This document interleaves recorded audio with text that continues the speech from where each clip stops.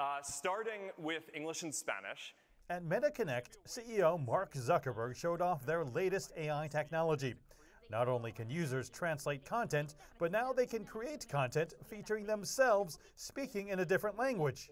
Poder conectar con personas y audiencias que hablen inglés. My native language is Spanish, but check it out. Now I can also speak English through AI automatic dubbing. Through Meta's AI studio, creator and author Don Allen Stevenson showed how he's trained in AI to interact with his fans. Is being in nature and, and standing desk important for your creative process? Being in nature and using a standing desk is crucial for my creative process. It helps me think more clearly and come up with my best ideas. All right, I'm going to try to stump you with this one. Do you have any tips on cattle ranching? I don't have any tips on cattle ranching. My expertise lies in technology and design, not agriculture. Meta also showed how with new updates, its Ray-Ban smart glasses can help you remember where you parked or make suggestions on what to wear for a party.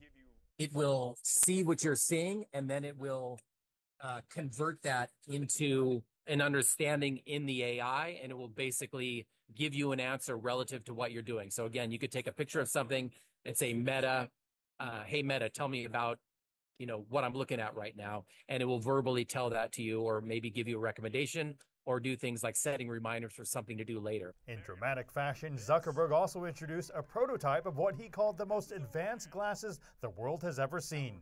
Orion allows users to see the physical world with holograms laid over it. It's controlled by hand, eye, voice, and even more. I think that you need a device that allows you to you just send a signal from your brain to the device. So this isn't just the first full screen, like uh, you know, full wide field of view holographic AR glasses. This is also the first device that is powered by our wrist-based neural interface. What Meta's doing has basically boiled that down to a form factor that are much more like glasses, and they call them glasses. They're aiming to do full-on augmented reality Meta also unveiled its new Quest 3S mixed reality VR headset, which comes in at just $300, with Zuckerberg emphasizing that he wants to bring mixed reality to everyone. That strategy is completely opposite that of Apple, whose high end Vision Pro VR headset comes in at $3,500. Meta showed how a Quest 3 user will be able to connect with any Windows 11 PC and create larger or multiple virtual displays.